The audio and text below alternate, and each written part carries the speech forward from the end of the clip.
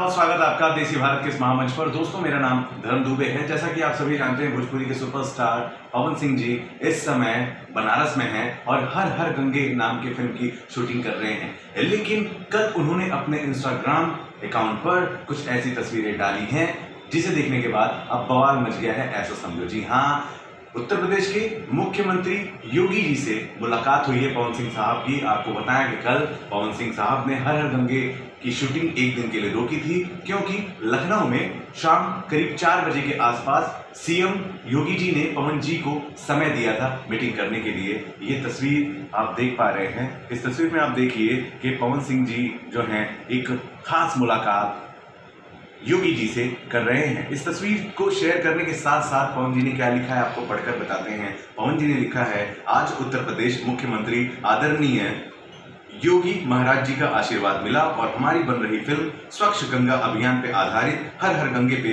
विशेष चर्चा हुई। साथ में हमारे बड़े भैया सैयद राजा विधायक विधायक सुशील सिंह जी और पिंडरा विधायक अवधेश सिंह जी भी हैं। जय श्री राम। उसके बाद कमेंट की भरमार होगी। दोस्तों, आपको बताएँ कि इन दो विधायकों के साथ पवन सिंह जी ने, योगी जी से मुलाकात की है, हर हर गंगे फ़िल्म के बारे में बातचीत की है और प्रमोशन करने का एक नया फंडा, नया ज़रिया शुरू किया है। आपको बताएँ कि हर हर गंगे फ़िल्म एक गंगा नदी की कहानी को दर्शाएगा। हर हर गंगे फ़िल्म का जो डायरेक्शन है, चंदे चंदन उपाध्याय कर रहे हैं, अभिषेक श्रीवास्तव प्रोड्यूसर हैं, स्मृति सिन्हा इस फ़िल्म की हीरोइन है और पेन इंडिया लेवल के बैनर तले इस फ़िल्म का निर्माण किया जा रहा है। तीन भाषाओं में फ़िल्म रिलीज़ की जाएगी।